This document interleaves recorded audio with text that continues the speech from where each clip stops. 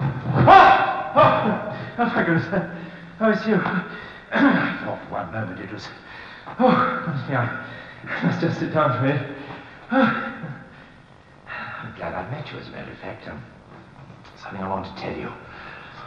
When we, uh, when we start out on our next adventure, Jamie and Victoria and I, uh, we meet some old friends. Uh, yes, but we also meet some old enemies.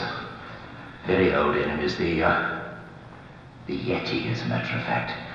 And the, uh, this time, they're, they're just a little bit more frightening than last time. Hmm? So I want to warn you that if your mummy and daddy are scared, you just get them to hold your hand. Huh? Here we go again. I just want to go. I'll see you soon. I